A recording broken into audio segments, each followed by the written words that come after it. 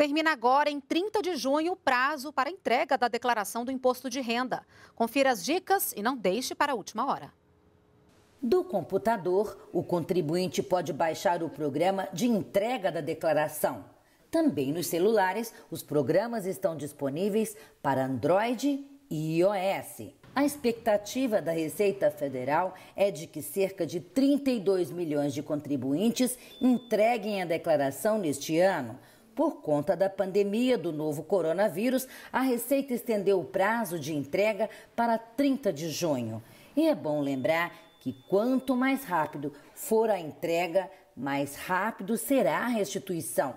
Esse microempresário não perdeu tempo e foi um dos que já acertou as contas com o Leão.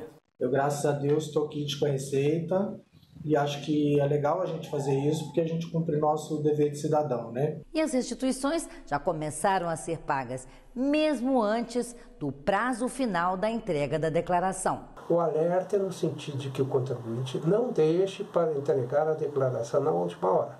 Ele poderá ter problemas com a internet, até mesmo com seu equipamento. É importante começar já a verificar os comprovantes e tirar as dúvidas.